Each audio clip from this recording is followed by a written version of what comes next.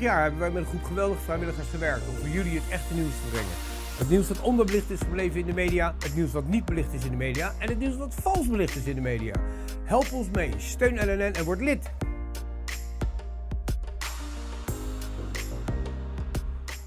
Hallo mensen, welkom. Welkom bij weer een nieuwe aflevering van Rick Uitums in gesprek met. Vandaag zijn we even in een andere studio, omdat uh, er is een verbouwing gaande in de andere. Dus uh, het is even behelpen, maar ik denk dat dat wel uh, gaat lukken vandaag. Ja, zoals jullie weten is onze redactie altijd naarstig op zoek al anderhalf jaar naar mensen met ballen en gezond verstand. ja, en ik heb de, de, de eer om deze man zijn boek te laten presenteren. Dat is, hij schrijft onder het, onder het pseudoniem Solomon Sol. En zijn boek heet Mijn strijd anderhalf, de memoires van een Uberwappie. Nou, ik ben super blij dat hij er is. Dus ik zou willen zeggen, Paul van Schijk, kom eens langs. Hey, hoe is? Ja, goed. goed. Heel goed. Uh, ja, dit boek, ik heb het zelf nog niet kunnen lezen, maar onze redactie was er best wel heel erg uh, uh, enthousiast over. Mm -hmm. je bent onder andere misdaadverslaggever bij Panorama geweest. Yes. Ja. Maar je hebt nog veel meer gedaan. Dus, ja. dus ik heb willen voorstellen, in de format van het programma is vraag 1 altijd, wie is Paul van Schijk? Okido. Uh, nou, Paul Schijk, ik ben dus uh, eigenlijk mijn hele leven journalist geweest. Ik heb geschreven voor Panorama, voor Rails, voor Kijk. ja, ik had eigenlijk een heel breed terrein. Bij Panorama was ik misdaadverslaggever.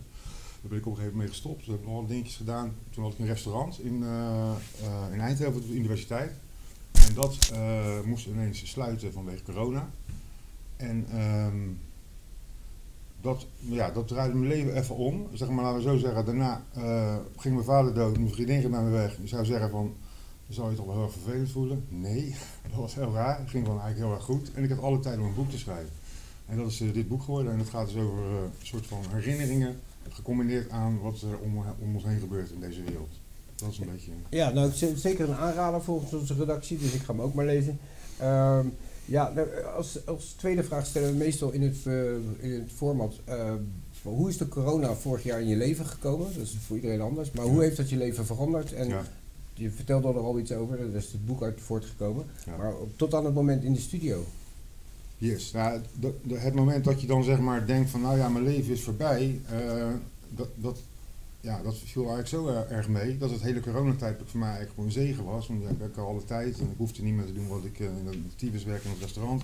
Dus ik had eigenlijk alle tijd om gewoon op mijn gemakje aan het boek te schrijven. Uh, maar je houdt wel de wereld in de gaten en je ziet wel dat, dat er wel wat dingen echt maar anders gaan dan je, zeg maar, hoe ze horen te gaan. En, en het valt op dat andere mensen dat niet zien. En dat is in die zin, de wereld is voor mij veranderd dat je zeg maar twee groepen krijgt nu tegen elkaar. Polarisatie, wat echt nergens nodig is. Maar waar gaat het over? In principe over uh, over een prikje, zeg maar. En hij heeft twee groepen in de samenleving die, die elkaar uh, soort van, uh, ja, dat, als ik daar iets aan kan bijdragen om dat op te heffen, zeg maar, dan, dan, dan is mijn project geslaagd. Ja, je hebt het over polarisatie, dat merken we natuurlijk heel erg. Het was eerst of je het wel of niet geloofde, de, de soorten met corona-waanzinnigen en de, en de wappies. Ja wij hebben geconstateerd dat de wappies eigenlijk een vooruitziende blik hebben gehad. Dat er best wel veel is uitgekomen wat uh, ze voorspeld hebben. Uh, nu is het door de coronamaatregelen vooral geworden gevaccineerde, ongevaccineerde. Ja. Uh, wil je daarover praten of jij gevaccineerd bent? Ja, ja daar wil ik wel over praten. Nee, natuurlijk niet. Ja, ik bedoel waarvoor. Maar, maar, maar daar, daar gaat het niet om. Maar als, iemand, als ik nou met iemand in gesprek is die wel gevaccineerd wordt, is het net een heel heftig ding. Terwijl het zou zo moeten gaan. Jij wel, ik niet. Dat zou het gesprek moeten zijn. En nu is het zeg maar zo ja, opgeklopt en mensen die zitten leven in een staat van angst. En dat is eigenlijk heel moeilijk te herkennen, want de mensen die dus wel gewoon braaf doen wat er gezegd wordt, die hebben van zichzelf niet door dat ze in een staat van angst zijn. Dus zij zien eigenlijk gewoon de wereld. Uh, ja, ik geef ik in het boek het voorbeeld. Als je zeg maar, uh, als je naar de, de kleuterschool gaat, Sinterklaas staat binnen, en je gaat, gaat zeggen, ja, Sinterklaas bestaat niet, ja, dan kan je wel een handje peperneus in je gezicht verwachten. Dat, Hè, dus die, die mensen die denken dan van ja, maar heb je het Sinterklaasjaar niet gezien dan? Tuurlijk bestaat Sinterklaas. Dus op, dat is niet het moment om die mensen die in staat van angst zijn, die misschien die dus denken, oh nou kijk, de griep gaat dood, uh, om die te benaderen. Dus je kan ze zeg maar zo niet, uh, dat heb ik gemerkt. Dat, dat het is niet, dit is niet het moment. Maar ik denk, zoals bij mij ging, op een gegeven moment zie je dan na Sinterklaas, ja, die schoenen die zijn van nou Piet. En op een gegeven moment... Uh, Ah, en hij, wat zegt hij nou voor gedicht? Dat lijkt me een beetje Klaus verhaal. Dan ga je, gaan mensen zelf zien van, hé, hey, uh, maar dat kan wel eens best wel lang duren.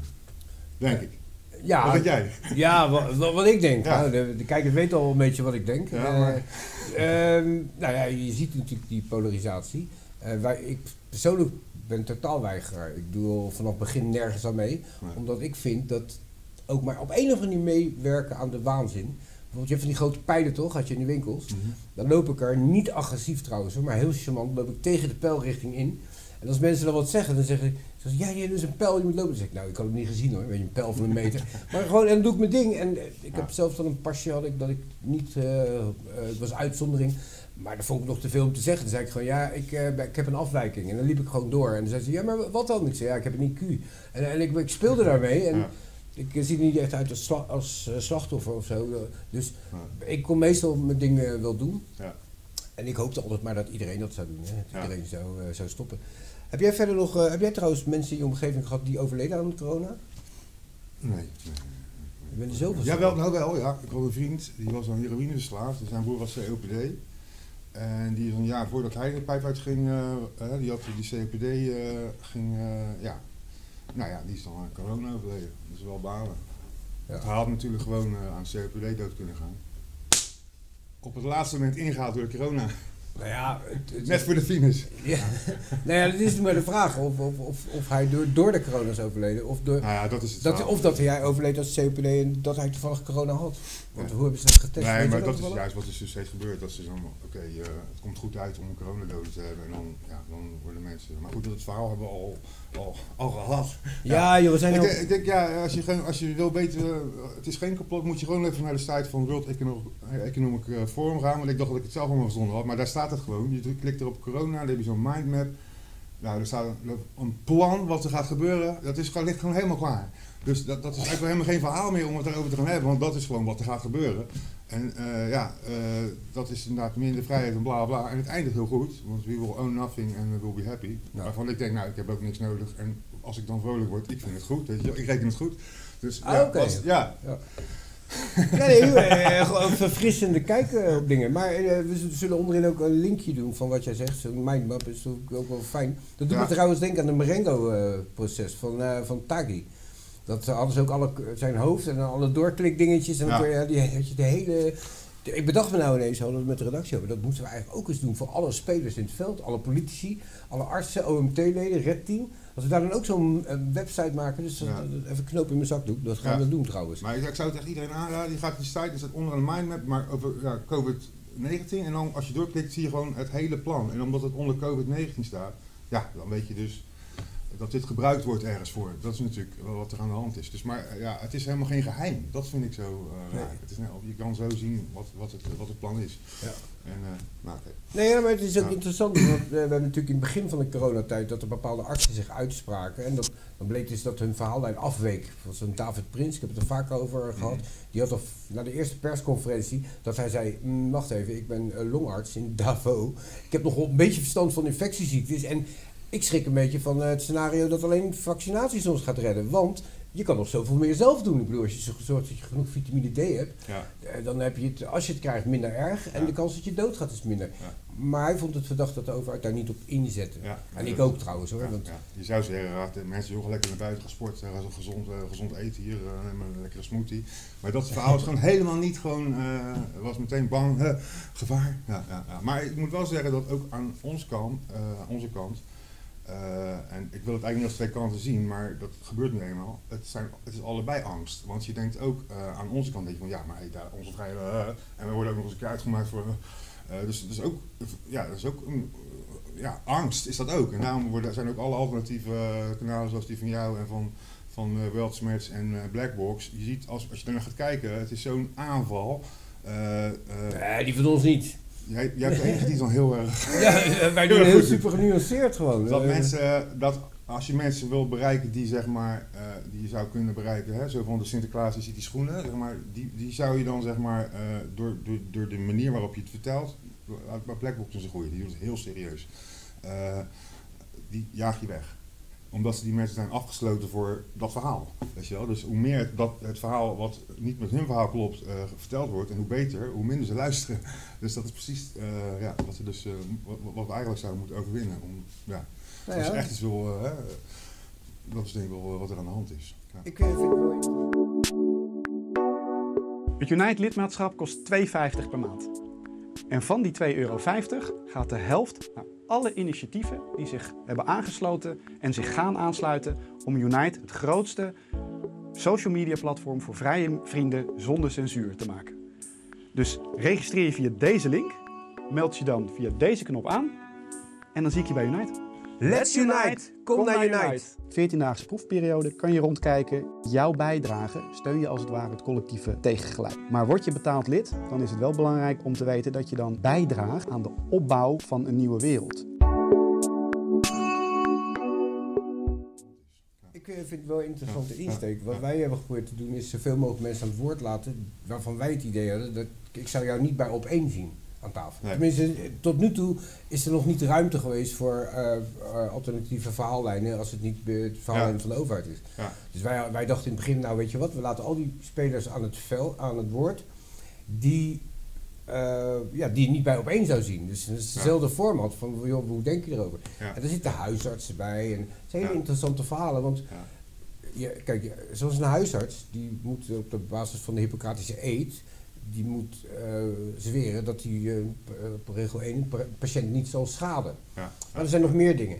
En een van de dingen waar sommige huisartsen heel enorm in de gewetensproblemen kwamen, is omdat zij, omdat de ingrediënten van vaccinaties eh staatsgeheim zijn verklaard, wat ook al apart is, want in de Mhm. wetenschap hebben juist peer review en eh, alles open kaart, zodat het een beetje... maar dat, daar was niks van eh, over. En sterker nog, toen een bepaalde huisarts die we aan het woord hebben gelaten, die begon vragen te stellen bij, eh, eh, bij de betreffende instanties. En dat werd gewoon niet geapprecieerd. En dat vond zij dan weer verdacht, want zij was ook vanuit een wetenschappelijk oogpunt van ja, maar hallo, we zijn- we zitten hier toch met, samen met z'n allen in dit verhaal. We moeten Ja. toch het beste voor de mensen. Maar Ja. wat zou, lo- logisch zou nou zijn, ik heb ook nog 25.000 voorbeelden van dat het niet deugt, zeg maar. Maar dat zou mensen dan niks meer zeggen. Weet je wel, je gaat met z'n allen, wij gaan dan samen van, ja, weet je wel, wij hebben gelijk, het deugt niet en. En, en dat is eigenlijk, eh want ik wil eigenlijk de mensen die dus, zeg maar, er wel in trappen, gewoon bereiken. En denken, ja, Ja. weet je wel, wat, nou, nou, staan, hè, nou staan je vrienden buiten hè, die er niet, en jij gaat binnen de kroeg. Kunnen we niet gewoon met z'n allen denken, hé, laten we even normaal doen. En gewoon, Ja, snap je? Maar dat is- in plaats van, eh, ja, Maar het is, ik snap jou, Ja, maar het- wij snappen toch allebei dat dat helemaal niet de bedoeling is. Dat mensen zo eh, genuanceerd met elkaar omgaan. Dat is helemaal niet het plan. Nee. Wij moeten, die verdeel en moet er zijn. Ja, maar dat is van bovenaf. Maar waarom Ja, kunnen we niet zelf zeggen dan tegen, gewoon tegen elkaar van mensen, laten we even eh, wakker worden. En eh, hey, jij wil wel die prik, ik niet, wat is het probleem? Moeten we dan Nou gaan vechten, weet je wel? Ja, wat? We zien aan de opkomst van de laatste demonstraties. Ik ben er ook blij om natuurlijk hoor, maar Ja, ja. ja, maar we zien dat er steeds meer mensen, gevaccineerd, ongevaccineerd, maar van Ja. allerlei pluimage. We hebben het op 3 oktober gezien en we hebben het op 5 september eh, gezien. En dat is wel hoopvol. Ja, Ik bedoel, het maakt mij ook niet uit of iemand gevaccineerd is. Alleen waar we nu naartoe gaan en dat grotere plaatje, dat snappen steeds meer mensen. En steeds meer mensen spreken zich er ook over uit. Dat het- zelfs Thierry Baudet heeft het gewoon in de Tweede Kamer gebracht. Die heeft Ja. van de complothoek, heeft hij de Operation Lockstep van de Rockefeller Foundation, Ja. heeft hij gewoon als een document uit 2005 gewoon voorgelezen en, en Ja, gewapperd van ja. dit is geen complottheorie, dit is gewoon het plan en daar zitten we nu in hè. We zitten nu ongeveer op hoofdstuk 5 Ja. en eh, ook met een humor. Hij snapt natuurlijk ook dat eh, hij heeft, eh, heb ik eens de indruk, no more fucks to give. Eh, hij weet dat hij politiek machteloos is, dus hij Ja, gebruikt ja. zijn tijd ja. om, om de dingen te, te exposen. En dat doet hij goed, denk ik. Hij doet het goed, maar, hij, maar het is ook, het, eh, ja, nee, hij doet het goed. Hij is de enige, zoals ik weet, die het helemaal ziet. En die eh, Gideon uh, Meijering die doet het nog beter. Die, eh, die gaat heel erg to the point. Dit, dat klopt niet. Daar zegt gewoon alles wat hij moet. Hij doet, staat daar te doen wat, wat een politicus moet doen, zeg maar. Ja. En, eh, maar ik weet wel, die dingen worden volgens mij door, de, door het andere kant. Dan, als, ja, dan is hij de vijand. En dan wordt er dus niet naar geluisterd. Nou, er wordt aan niet geluisterd. En Ja. tweede, ik weet niet of je die bijdrage hebt gezien, dat hij de vergelijking legde met de Tweede Wereldoorlog. Toen stonden ze als hyena's, stonden ze allemaal bij de interruptiemicrofoon. Ja, dat is maar dat is mooie beeldmateriaal ook, want je ziet gewoon hoe ze, hoe ze angstvallig proberen. Maar hij is onverstoorbaar. Ik vind Ja, het echt een rock'n'roll. Ik vind het, eh, Cool, hè? Dat rock'n'roll in de politiek. Dat is echt hoe die daar stond. Dat is echt ja, petje af. Nou ja, Maar ik heb hier ook een heel hoofdstuk over de, de vergelijking met de Tweede Wereldoorlog. En een boek mag, het is een roman. Dus ja, dan mag je zeggen wat je, wat je, wat je, wat je, wat je denkt. Maar dat is, Nederland staat er onbekend. Om, uh, in, de, in, de, Tweede Wereldoorlog zijn hier de meeste Joden afgevoerd, zeg maar absoluut en relatief absoluut. Hè, dus meer dan in Frankrijk. Waarom? Omdat wij zo goed meewerkten. Ja. En halverwege zeiden de Duitsers van, nou die Nederlanders die werken, we gaan de quota omhoog doen en bij Frankrijk ging het omlaag. Dus wij zijn een land waar uh, ja, het meewerken met het gezag is gewoon, zit in onze genen. En ja, eigenlijk moeten we daar mensen voor, voor wakker, uh, wakker, wakker maken. Maar als je door de Tweede Wereldoorlog ja, is nu ook weer een no-go era. Dus, ja, ja, ik, ik, ik zou zelf niet met een gele ster op een demonstratie lopen, maar ik vind het wel een hele treffende vergelijking. Want het is niet met concentratiekampen begonnen en vergassingen. Het is begonnen met uitsluiting. Ja. Er was ook een meme die ging rond, daar heb ik zelf de tekst voor geschreven. Dat ik uh, schreef van, hallo, ik ben, uh, ik ben Anne Frank en uh, ik werd langzamerhand uit het uh, maatschappelijk leven verbannen. Ja. maar nu kunt u mijn film zien, maar je moet wel een QR-code hebben.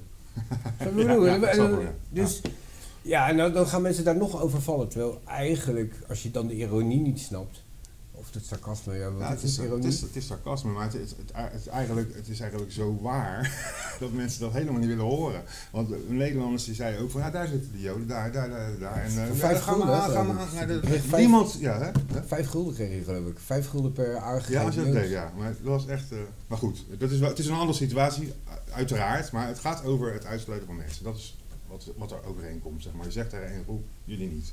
Ja, en, en we zien het nu ja. met die QR-codes die QR-codes voor horeca, dat het de mensen ontgaat dat het puur de overheid is die uh, horeca-ondernemers, met name en met kantines van voetbalwets, uh, voetbalkantines, dat de overheid eigenlijk dwingt die ondernemers om gewoon de wet te overtreden. Dus volgens mij is dat uh, artikel 90 uit het wetboek van strafrecht, uh, discriminatie, staat geloof ik 8700 boete op. Maar de, iedereen is gewoon, oh, gewoon doorlopen. Ook de media die berichten niet over. Van, sterker nog, als jij dan die vergelijking trekt met de Tweede Wereldoorlog, dan wordt er, ja, dat, dat is schaamteloos. Je kan niet de oorlog erbij halen. Want, nee. Maar dat doen ze al jaren en dat is trouwens ook aangestipt door Forum voor Democratie. Ja, andersom mag dat wel, zeg maar. Ja. Ja, maar het is gewoon een vaste uh, stramien. Het is een soort stuip. Je moet een uiterste zoeken om iets, om iets duidelijk te maken. En dat mag, de ene kant mag dat nu niet, maar de andere kant mag dat wel. Dat is een beetje uh, toch het verhaal. Ja. Maar, maar weet je wel, wat ze doen is dus de middenstand helemaal gewoon kapot maken. Dat zijn, dat zijn de mensen die nog een beetje zelfstandig hun geld verdienen. Nou, die is kapot. Dan krijg je dus de multinationals die soort van wereldwijd gewoon alles kunnen bedienen.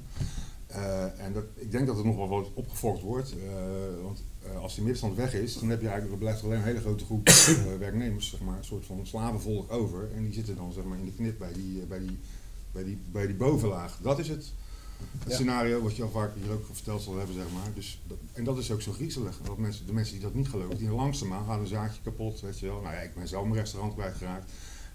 en nou ja, ik ben dan zo creatief dat ik dan zeg maar iets anders ga verzinnen. En er iets van maak. Want je denkt van, nou ja, oké, okay, wat kan ik dan? Zeg maar, nou ja, mijn, schrijven. Schrijven. En ik ben gelukkig. Dat is ook heel raar. maar ik, op elk moment kan ik gewoon gelukkig zijn. Als uit die hele lockdown maakt helemaal geen uit. Ik ben eigenlijk altijd gelukkig. Ik denk, nou ja, als mensen dat nou mee kan geven, van hoe je dat doet. Het is gewoon een truc. En uh, ja, ja, als je daar gewoon altijd gelukkig zijn, ook al tief de hele wereld in elkaar, kan je nog steeds gewoon, oh, ja, nou, ja. Nou ja, ik vind het heel knap. Ik herken het wel zelf een beetje, omdat ja, het kan wel heel ellendig zijn. Maar, ja, je kan altijd wel, je ziet nog wel iets goed, goeds in en al, al, ja, weet je wel, I don't mind what, what, uh, what happens. Ja, we, we, je kan doen wat je kan doen en zegt van hé, hey, volgens mij klopt het niet, maar uh, ja, als het anders wordt, dan uh, ja. Nou ja, wat wij dus doen en wat ik persoonlijk doe, is onder andere mensen als jij aan het woord laten. En dan hopen dat zoveel mogelijk mensen kijken. En, en, en, en, en, ook weer zo van, dan hoor je het iets van een ander. En, uh, ik hoop ook dat mensen jouw uh, boek uh, gaan lezen. en ik ga het ook lezen. Ik heb ooit gezegd, als ik ooit tijd krijg om één boek te lezen, ga ik er drie schrijven. Heb ik ooit gezegd. Maar goed, dit is nog wat te doen, denk ik. Ik kan ook op de verfilming wachten. Oh, verfilming. Mag ik de hoofdrol spelen? We zijn nu, ik ben een acteur geworden. Hey, cool. Daar hou ik je aan, hè? Me wel. Hey, leuk joh. Nou, we hebben uh, eindelijk opdracht, maar dan geen PCR-test, want dat doe ik niet aan. Nee, nee dat totaal mag, mag ook niet. Nee, dat geen anderhalve meter. Zou niet in lijn zijn. Nee. Zit er ook uh, porno-scènes in? Dat wel, ja. Okay. Oeh, nou, dus... Uh, mag ik een beetje de kuis, dus, Oh, dat is deel 2, of niet? nou, meestal als ik een rol speel in, in films... Altijd een pornofilm. Nee, nee, dat was uiteindelijk mijn, mijn hoop altijd. Dat, uh, die zeiden, nee, ga eens maar een gewone film spelen, dat je een beetje ervaring op doet, weet je. Nee, maar de, het is een happy end of niet? Het is, hij overleeft het? Het is een open eindje, ja. Dus ik kan dan ook uh, eventueel een deel 2 van de film... Uh, ja, maar ja. Het nee, maar... Het is eigenlijk, ik, ik geef mensen eigenlijk een soort van roadmap wat je kan doen. Uh, zeggen, eh, ik, ik, dus de hoofdpersoon die voorspelt dat de derde wereldoorlog is uitgebroken. En eh, het, er zit een pad in van hoe je, zeg maar, eh, hoe je daarmee omgaat. Dus Oké, Het is eigenlijk, het, ja, het, ik heb het, het is een soort ja, dienstbaar boek eigenlijk. nou helemaal goed. Nou, nogmaals, onze redactie was er heel eh, enthousiast over. En daarom hebben we je ook naar de studio gehaald. Ik vind het weer een verfrissende kijk op de zaken. Ja. En eh, nou, mocht er nog een update zijn of iets, eh, eh, misschien je nog wel een keer terugkomen. Ja, Eh, leuk. Ja, ja. Misschien heb je wel voorspellende dingen gedaan hier die dan eh Ja, zo zijn. naar de dat- andere komt uit. Dus, een soort Nostradamus. eh, ongelooflijk. ja. Nou, dat is helemaal mooi, want we hebben meer voorspellende mensen in de studio gehad. Dat is Pieter Stuurman. Ja. Die heeft al 2012 voorspeld waar we nu in zitten. En dat was, hij schreef heel goed, heel alarmistisch. Maar er was toen nog geen reden om aan te nemen dat hij gelijk had. gelijk had, ja. En nu Maar, maar in juli vorig jaar, toen bedacht ik ineens, oh, Pieter Stuurman die heeft dat toen geschreven. Ik was toen een fan van hem, toen heb ik hem een jaar uit het oog verloren. En hij was alleen maar schrijver. Toen is hij op 29 juli naar de studio gekomen. Toen heeft hij nog eens dunnetjes overgedaan. En hij is nu vaste vriend van de show. En dan komt hij om de zoveel tijd terug Oké, met een ja. update. Ja, nou, super. Dus- Een visionaire persoon in de buurt. Dat, eh, ja. Ja, nee, maar hij, hij voorspelt dat we, wat ze eigenlijk op de achtergrond willen is, eh, de, ze willen een technocratie invoeren. Ja. Wat ze daarvoor nodig hebben is een digitaal controlemiddel. Ja. En de manier om daar te komen, dat, zoals hij voorspelt, dat kan ze niet schelen of dat naar COVID is of, eh, of Ja. iets anders. Maar het hele, de hele andere kant van het verhaal is, stel nou dat het echt zo is, die olie is bijna op en we hebben echt een probleem. Hè? Dat klimaatgedoe, daar geloof ik geen rol van, dat, dat zal wel meevallen. Maar de olie is op, dus je hebt daar ineens geen grond, weet je wel. Nu is iedereen getraind om op het juiste moment, hop, iedereen stil, eh, we verbruiken niks. eh, het is een hele goede oefening om voor een grotere ramp. En het zou kunnen dat die, want we denken nu dat de machthebbers zeg maar, achter de schermen slecht zijn. Maar misschien hebben ze wel het beste met ons voor. Dat kan ook. Ja, nou, ik neem geen risico's. Ik, ik, vertrouw, ik vertrouw mensen over Ja. het algemeen die eh, van dat niveau ik ze kan gooien. En ik ben een klein mannetje, dus dat is niet ver. Ja, ja. En nog iets anders, misschien leuk voor de kijkers om te onderzoeken. Het is zo dat Rockefeller natuurlijk groot en rijk is geworden door olie. En er was ooit een hele complottheorie, die, heb ik even, die moet ik even recyclen denk ik. Dat eh, de, de productie van olie, zoals het eh, ge- eh, als fossiele brandstof wordt bestempeld, dat het eigenlijk een natuurlijk proces in de aarde is die gewoon zichzelf recycelt. Dus het blijft constant Er doorgaan. blijft steeds nieuwe olie Dus dat hij verzonnen heeft dat het schaars was als fossiele brandstof. Oh ja, ja, ja. Dus even een kijkersdingetje. Ah, We gaan een onderzoek uit. Dat doen we samen, hè? want alleen samen krijgen we de overheid onder controle. ja. Als iemand daar linkjes van kan geven, stuur het naar eh info.lnmedia.nl of anders naar een van de chats. We zijn er echt eh, met de redactie dolblij als jullie dat doen, want ik wil dat we ook nog eens voor eens en voor altijd weten. Is het Ja. nou dat, eh, de, theorie is natuurlijk, dat oh, jungle, aar- Duurt, ja, een helemaal miljoen plat jaar, geperst dat door de druk. ja. Maar dat is... Maar dat vond ik altijd raar al. Dat, Ja. ah, Waarom is het dan allemaal dezelfde kwaliteit? Snap je wat ik bedoel? Het is één grote dra- drap is het, ja. teerdrap. Ja, ik- snap je wat ik bedoel? Ja, Dus, ja, dat zou dan toch met een paar miljoen meer of minder meer drap of meer vloeibaar moeten. Snap je wat ik bedoel? ja, ik snap Dus misschien is er wel een enige mate van waarheid in. Maar laten we dat even samen onderzoeken. Het andere wil ik weten, is, maar als het echt zo is dat er een groepje elite is die zeg maar, de macht wil behouden, waarom zo overdreven? Wat, waar, waarom deze hele shit? Waarom niet gewoon, hé, ze hebben toch al de macht? Nou, Ja. nou, nou, nou, nou, nou, nou, nou, oh, oh, een Oh. stukje verder. Oh ja, want ik heb een kijktip voor jou. En ik heb het al vaker gezegd. Ik maak niet vaak eh, eh, reclame voor andere podcasts. Dus, eh, tenzij Oh, ze- Ja, ja, nee, nu. Wij hebben ook een podcast. Dus Ja, oké. liever kijken ze naar ons. Ik bedoel, iedereen moet toch zijn aandacht een beetje verdelen. Maar er is er eentje die, waar ik zeker elk, bij elke gelegenheid reclame voor maak. Dat is eh, podcast 38 van Jor Luca. Waarin hij in gesprek is met Karen Hamakers Zondag. Waarin, dat is 2 uur en 33 minuten van je leven well spent, zeg maar. Waarin zij uitlegt, zij heeft iets van 13 doctorandenschappen. Ze is psychologie, poli- politiek, eh, maar ook astrologie en eh, seismologie. Dus ze is helemaal Met ingebeurd. alles gewoon. Nou ja, het is gewoon een, eh, maar het is zo'n lieve vrouw, het is zo'n Ja. innemende vrouw, maar zo integer ook. Ja, Waarin zij in 2 uur en 33 minuten uitlegt hoe de macht verdeeld is in de wereld. ja. Dus we doen ook een linkje onderin, want ik, als je hem nog niet gezien hebt, kijk hem. Want ze legt heel laagdrempelig uit hoe de macht ook geëvalueerd is. Want waar we nu in zitten, zegt zij ook, is al duizenden jaren aan de gang. ja. Het is nu een ont- ontwaking van mensen die, die denken van ja, maar wacht even, waar- waarom hebben we al die machthebbers? We, we hebben door, we worden onderdrukt, Ja. we worden slavenmaatschappij. En, en we zien het nu met die coronamaatregelen, dat de overheid normaal alleen maar iets te zeggen heeft over dat je een paar euro in de maand meer krijgt, weet je, derde Ja. dinsdag van september. Maar nu willen ze ineens zeggen dat jij die niet mag, niet mag knuffelen en dat soort Ja, ja, dat dingen. hele Chinese eh, verhaal. Maar, wat- maar kijk, er zijn niet echt problemen. In basically, als de multinationals gewoon belasting zouden betalen, wat ze niet doen, komt er 600 miljard vrij. En als ze die, die hoeveel triljoen, triljoen is wat gewoon weggesluit wordt de hele tijd. Als ze gewoon belasting zou betalen, Ja. dan was het gewoon was de armoede wereldwijd opgelost. Ja, maar het- maar- Zo makkelijk, hè? Het is, Ja. ja het is- het is- het is- zijn niet echt, er zijn niet echt problemen. Maar ik vraag me gewoon af wat er in die gasten hun kop omgaat. Nou ja, Volgens mij zijn ze ook bang ergens voor. Er is een soort theorie dat het eh, een soort psychopathisch clubje is, die inderdaad wel denkt dat ze het goed doen. Omdat ze, en het komt eigenlijk, het allemaal terug. Zij denken dat, dat, dat, dat geloof ik ook. Ik denk namelijk dat zij denken dat ze het goed doen. Dat zij de mensen aan het redden Ja, zijn. maar we hebben, de, de- de- de- Dat denken ze. Ja. ik wil nog een podcast aanwijzen, voor jou ook, dus huiswerk. voor de volgende keer als je terugkomt. Oké. Het is een podcast waarin we Erik Boomsma aan het woord laten. Waarin hij Oh onderzocht heeft dat aan de grondslag van alles, ook wat nu gaande is, ligt eugenics aan de grondslag. De vader van Bill Gates is een van de medeoprichters van.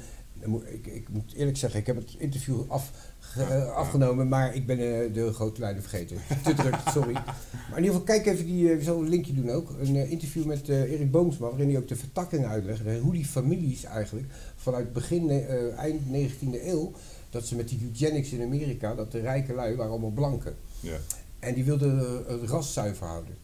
En die hebben wetten gemaakt waarin bepaalde groepen in Amerika gewoon bij wet eh, ge- gesteriliseerd moesten worden, omdat ze zich niet voor mochten planten. Hmm. En dat is wel grappig, omdat bij de definitie van die, die wet, dat, eh, eh, verkrachters, boeven, schurken, en er stond er ook feeble-minded. Nou, dus, dus- maar, maar, maar Hitler is daarmee aan de, aan, aan de haal gegaan. Die vond het zo geweldig.